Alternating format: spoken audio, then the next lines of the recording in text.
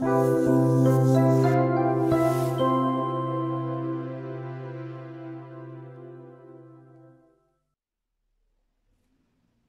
приветствую, это рубрика про акварель Doodle Sketch, и мы с вами уже поговорили о пигментах, о кистях и о палитрах, и сейчас мы будем плавно уже переходить на какую-то практику и поговорим о заливках, а, потому что поступал запрос относительно градиентных заливок, и попробуем сегодня с этим разобраться. У меня бумага скетчбук Фабриана, здесь 300 грамм, это не хлопок, это целлюлоза, можно, если хотите потренироваться, в принципе, на любой бумаге. Если хлопок, то лучше. Если целлюлоз, то тоже, в принципе, прекрасно подойдет.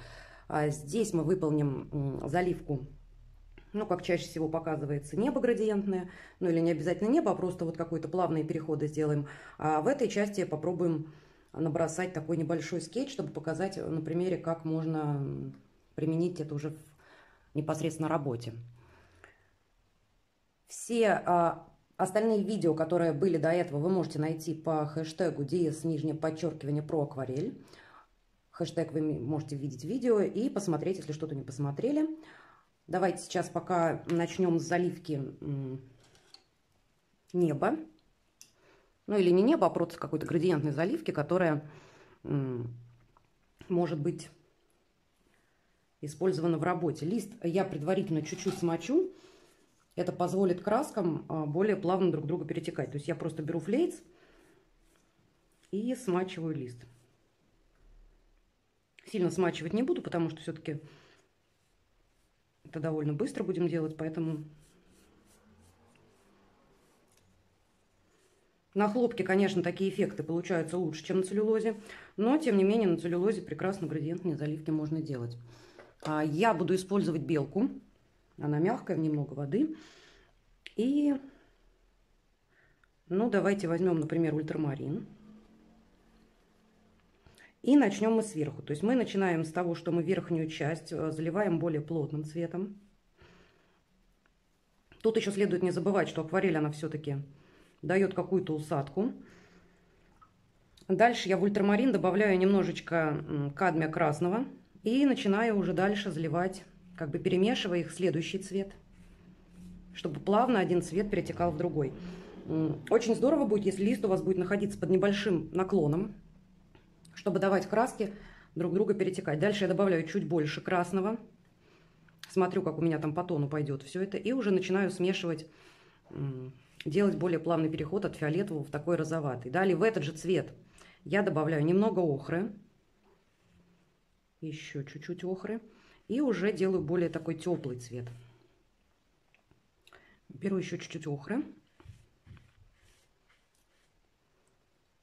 И дальше можно добавить, ну, например, еще светлый, более тон охристый или какой-то другой, более теплый оттенок, чтобы переход получился интересным.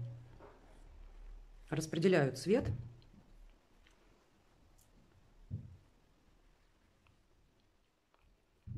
Чтобы бумага как-то плавно цвета друг друга перетекали, можно лист вот немножечко повертеть, понаклонять, чтобы все-таки краска, она же все-таки у нас под воздействием воды работает. И ну, такая вот естественная гравитация, она будет происходить. То есть будут происходить такие вот перетеки, если вы поставите лист горизонтально, вертикально, то краска, соответственно, будет двигаться. Ну и, соответственно, уже наклоняю, чтобы самый темный цвет у меня подраспределился. Я еще немножечко уплотню верхнюю часть, вот здесь, пока у меня еще мокрая. В градиентных заливках самый основной момент – это смотреть на влажность листа. То есть, если вы видите, что лист, вот, например, а, полосит бумага, это значит, что здесь она уже немножечко подсыхает.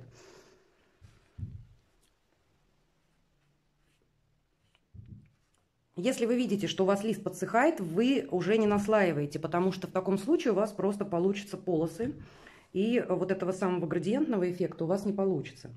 Но краске можно помогать растекаться, как-то ее варьировать, убирать лишнее или наоборот добавлять более плотный цвет, чтобы все-таки это все вот равномерно друг друга перетекло и создавало нам тот эффект, который нужен. То есть если вам надо, чтобы у вас цвет потек вниз, соответственно, вы наклоняете лист на себя, таким образом темные цвета будут перетекать в светлые. Вот как мы видим, прям вот здесь вот сейчас происходит такое движение краски под действием наклона чтобы не было каких-то не очень нужных эффектов, всегда можно кистью подобрать лишнее или где-то вот например, выбрать, если вам кажется, что здесь должен быть более светлый, да, такой оттенок, ну, только аккуратно, естественно. Вот.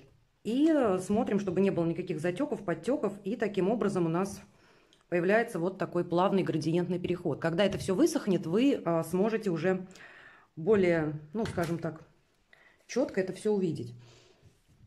Повторюсь, градиентные заливки хороши на хлопке, потому что он держит лучше воду и э, позволяет делать более плавные заливки. На целлюлозе могут быть какие-то, допустим, ну, нежелательные подтеки, но опять-таки это не обязательно. Тоже целлюлоз разный бывает. Ну и вот, соответственно, уже, когда у нас какая-то есть градиентная заливка, мы можем что-то на ней уже там писать сверху, или в зависимости от того, для чего она сделана, какой эффект вы хотите. Цвета, соответственно, вы выбираете и варьируете сами.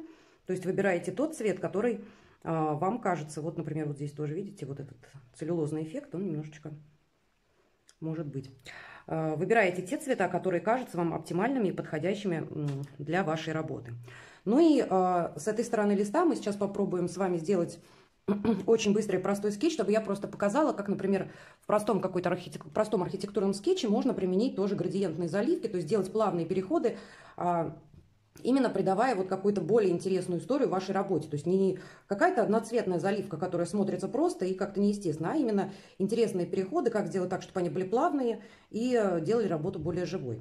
А, давайте пока сделаем карандашный набросок, ну и уже попробуем быстренько эту работу сделать.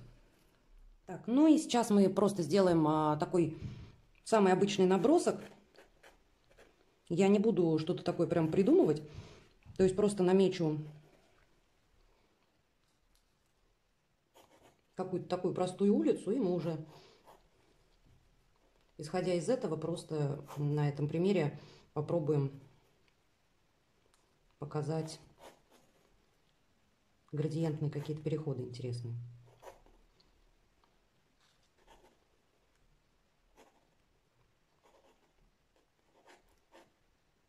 Линия горизонта у нас приблизительно вот где-то на этом уровне проходит. Но в данном случае речь не о линии горизонта, а вот именно о цветах. То есть мы просто обозначаем сейчас какие-то элементарные такие моменты, стены, может быть, какие-то двери. Я вот уже залезла в соседнюю заливку, то есть как бы, может быть, это повлияет на ее восприятие, но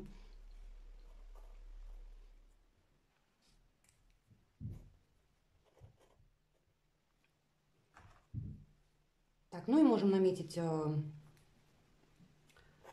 как я уже говорила, линия горизонта у нас где-то здесь приблизительно. Можем наметить, еще там могут быть тоже какие-то вдалеке здания, то есть это уже несущественный момент. И можем наметить пару людей.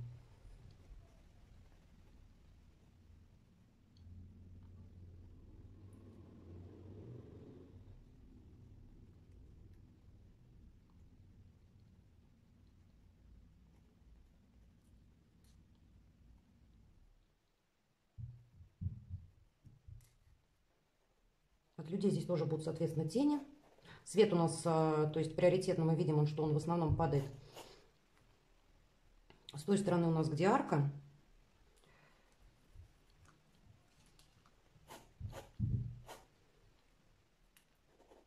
Ну и вот здесь, соответственно, у нас тоже будет тень, потому что у нас тень падает вот от этого здания.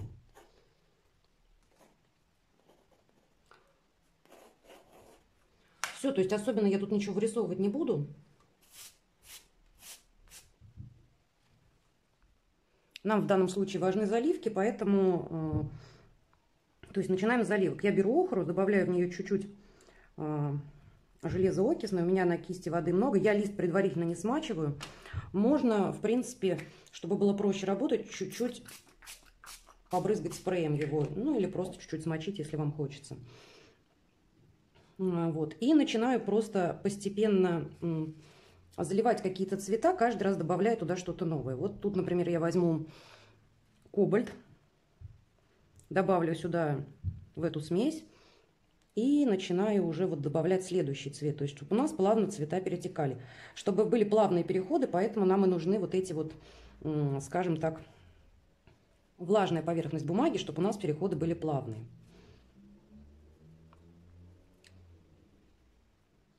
Референса в данном случае у меня нету, я просто показываю пример, поэтому какие добавить цвета, как э, работать, это вы можете выбрать интуитивно, просто исходя из своих предпочтений. Вот здесь я добавляю немного железоокисной.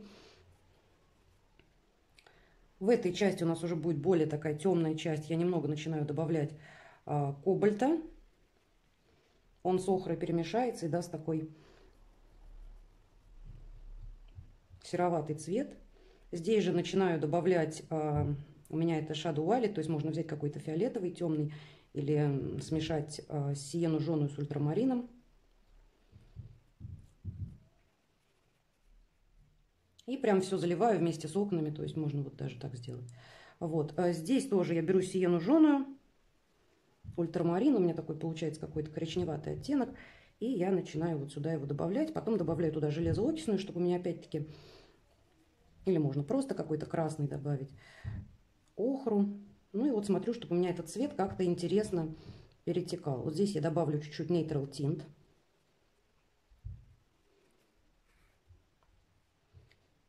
И, собственно, вот так все это дело здесь оставлю. Здесь у меня, чтобы не было резких переходов, я чуть-чуть тоже смачиваю. И опять начинаю э, делать различные цвета, добавлять. Здесь у меня какая-то крыша, может быть, торчит. Здесь я оставлю более светлый тон. И здесь я опять начинаю добавлять охру, чтобы у меня просто был более такой а, ну, то есть я использую все те же цвета, но только в более уже таком, скажем так,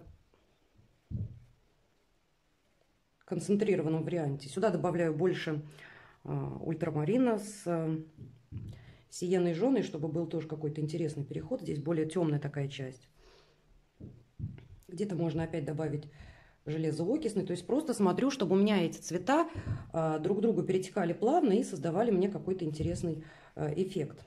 Здесь у нас окно, его можно прям замазать. Можно где-то взять, добавить сиены жженой.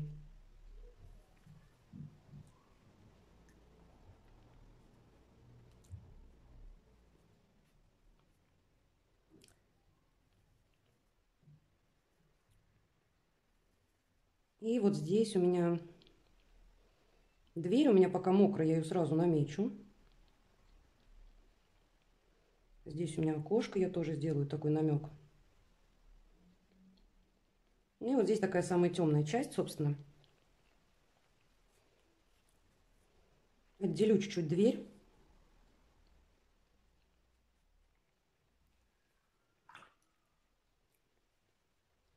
Сделаю чуть-чуть наброск, чтобы был более интересный эффект такой э, состаренности.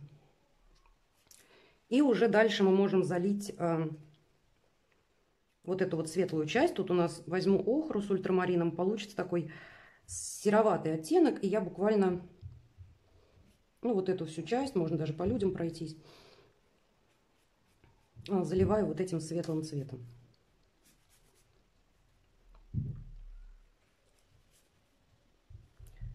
Здесь еще пока у меня влажно добавляю темный. Можно немножечко таких каких-то эффектов добавить. Здесь я чуть-чуть добавлю даже сиены.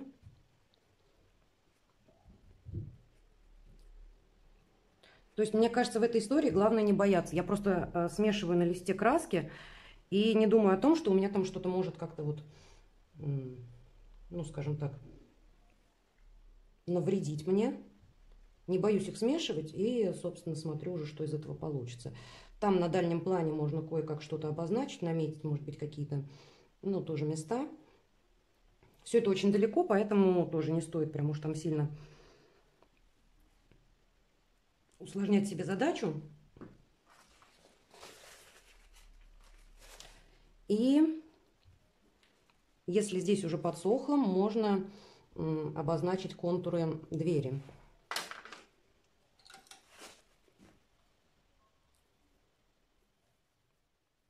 Я возьму Neutral Tint, чуть-чуть туда добавлю жженой сиены.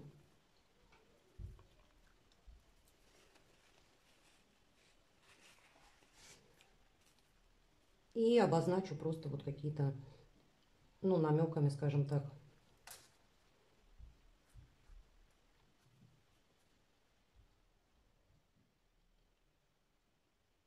часть этой арки.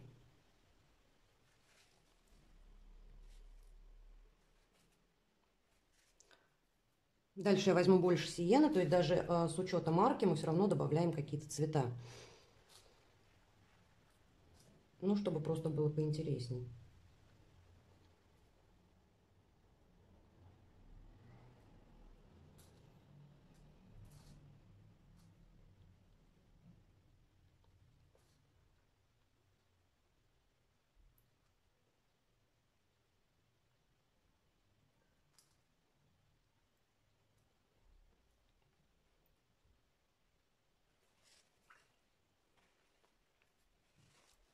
Чуть-чуть еще можно полусухой кистью наметить какие-то участки здесь. Здесь у меня еще мокро. Тут у меня, в принципе, тоже влажно, но можно вот тут по двери чуть-чуть пройтись. Можно сделать какое-нибудь вот здесь окошко.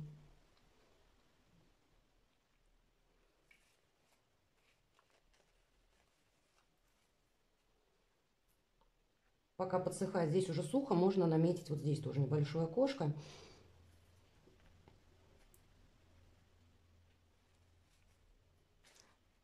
То есть вы видите, у нас таким образом получается довольно такая э, разноплановая заливка. То есть у нас разные есть цветовые переходы, разные оттенки.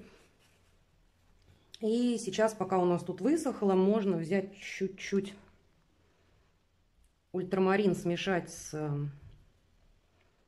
Можно с той же сиеной смешать жженой, можно смешать с вандайком, вот какой-то. Можно кобальт синий смешать с кадмием оранжевым или ультрамарин с кадмием. Можно такой получить какой-то теплый серый оттенок. И наметить какие-то теневые участки. То есть у нас определенно вот здесь пойдет тень.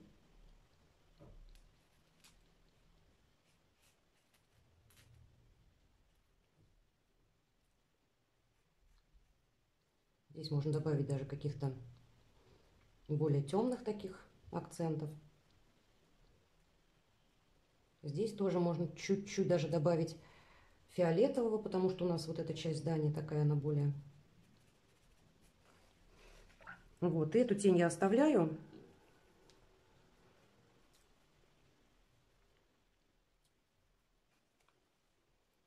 И вот эту часть тоже, уже, конечно, я опять разрисовалась, вот эту часть тоже можно всю аккуратно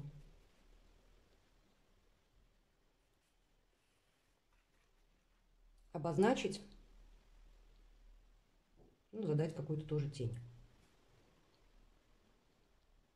интересную. Очень легко и прозрачно, где-то можно даже оставлять какие-то оттенки. Вот я тут залезла в окошки, то есть это не страшно.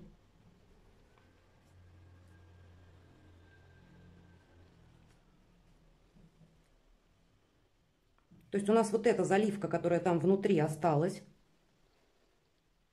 И мы еще добавили, скажем так, более темный а, следующий слой. Ну и сейчас я просто беру, пока у меня тут, правда, очень мокро, но я аккуратно попробую, я беру, ой, жженую сиену, можно взять оранжевый, намечаю лица людям. Можно взять какой-нибудь лавандовый или какой-то такой интересный оттенок.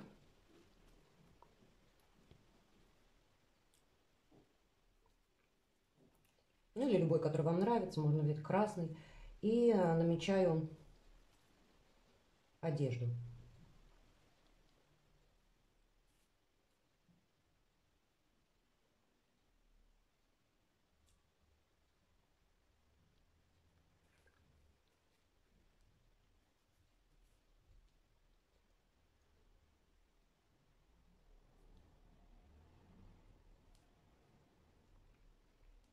Давайте красный попробуем.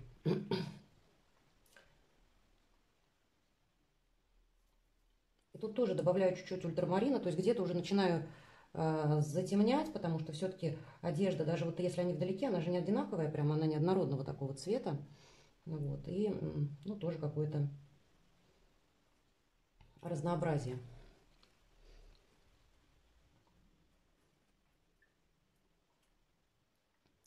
И намечаю тень. Тень там холодная будет, потому что, собственно, солнце такое довольно-таки яркое.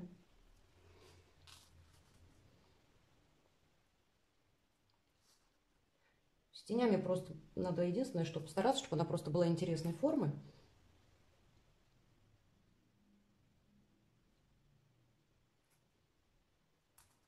И, собственно, этого будет достаточно.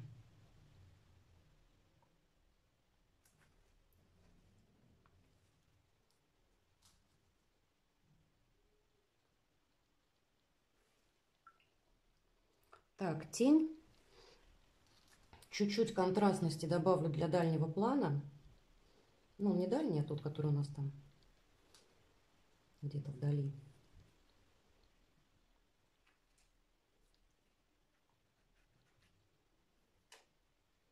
Может быть, там тоже какие-то двери.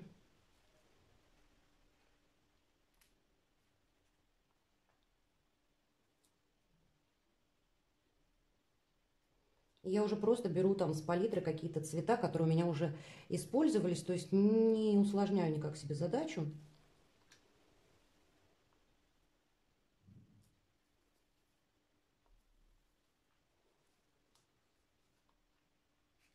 Еще чуть-чуть уплотняю арку. Это мы уже с заливок перешли на скетчинг. Но я думаю, что это не помешает. Так. Можно чуть-чуть еще наметить окошко.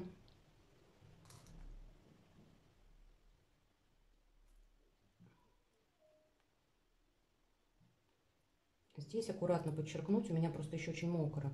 Еще чуть-чуть э, вот здесь намечу. Может быть, чуть-чуть вот это окошко подчеркну. Дверь.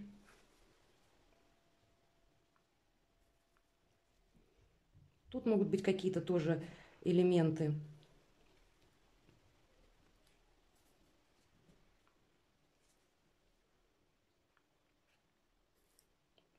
То есть я просто беру уже, добавляю цвета, которые а, есть у меня на палитре.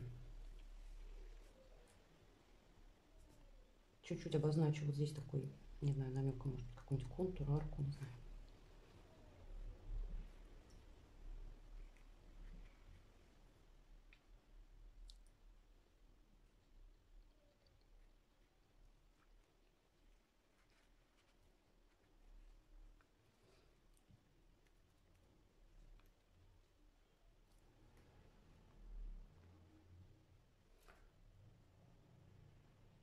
Ну и может быть какие-то намеки,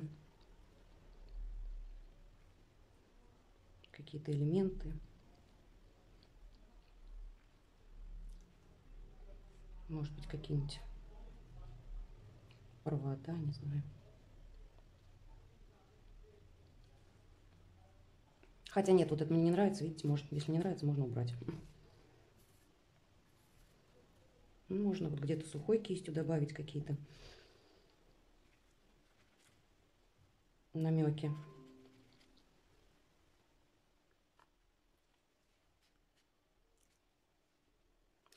Вот, собственно, суть, я уже просто увлеклась. А, суть моей затеи была в том, чтобы вам показать разноплановость заливок. То есть, а, посмотрите, мы просто добавляли различные цвета. Я буду параллельно еще тут что-нибудь добрасывать. Мы просто добавляли различные цвета и пытались как-то заливку сделать разнообразной. То есть, вот в итоге у нас получилось такие непонятные, интересные переходы. Пока не мокрые, всегда можно добавлять набрызг, это будет интересно. Можно добавлять набрызг и краской тоже, например, вот если сейчас сюда брызнуть ультрамарин, будет интересно. Вот, если у вас что-то куда-то там не так пошло, ну и ладно, это не страшно, мне кажется, вообще. Всегда же можно, ну, как-то это обыграть. То есть я вот вообще рекомендую не, не бояться портить бумагу. Это прям дело такое замечательное. Чем больше портите бумаги, тем э, лучше будет работа следующие, последующие. Поэтому, наверное, в вот таких заливках важны переходы. Что здесь важно? Оставлять или каплю на кисти а, большую, которая позволит вам ввести цвет, краску и делать переходы, а, смешивать цвета друг с другом, то есть вот вы взяли охру, добавьте туда, например, ультрамарин, потом добавьте туда еще что-то, то есть чтобы а, используя, например, в вашей, в вашей а, работе 5 цветов, у вас эти цвета как-то друг друга плавно перетекали, соединялись, и даже если это будет вторая какая-то заливка, чтобы опять участвовали те же цвета, делайте даже тени разнообразными, то есть вот не просто, например, серая падающая тень, или синеватая, или фиолетовая, неважно какая она, пусть она будет... Эм, например, тоже состоять из некоторых цветов. То есть вот здесь мы добавили и сиену, чтобы она как-то более разнообразно смотрелась. То есть можно какие-то добавлять всегда там, не знаю,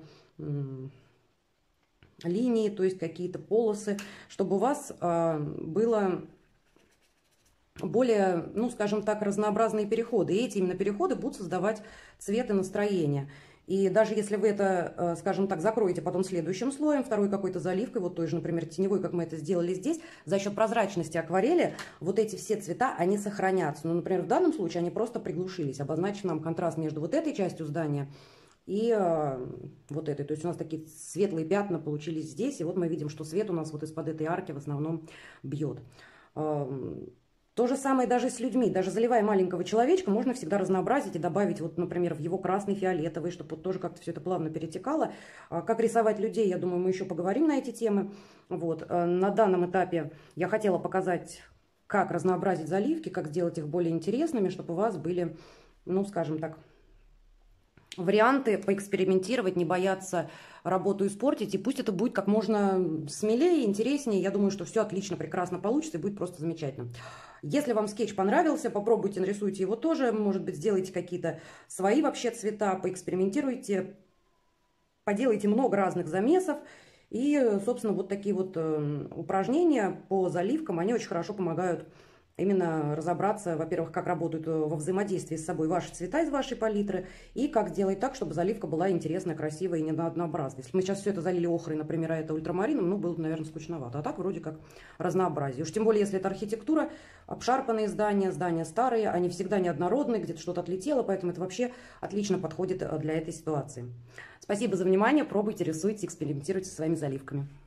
Thank you.